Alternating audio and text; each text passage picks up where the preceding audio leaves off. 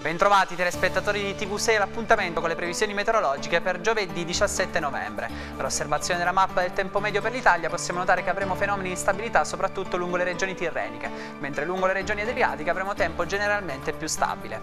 Nel dettaglio al mattino sull'Abruzzo avremo condizioni di cielo nuvoloso o poco nuvoloso su gran parte del territorio regionale. La ventilazione risulterà debole dai quadranti meridionali e mari generalmente calmi, mentre le temperature risulteranno in generale aumento. Corso del pomeriggio le condizioni meteorologiche continueranno a risultare stabili su tutto il territorio. Il sole splenderà lungo la fascia costiera e collinare, mentre sul versante occidentale della nostra regione avremo condizioni di cielo nuvoloso, accompagnato da una ventilazione principalmente occidentale.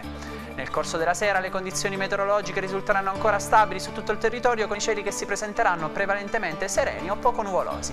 Vi ringrazio per l'attenzione e al prossimo aggiornamento.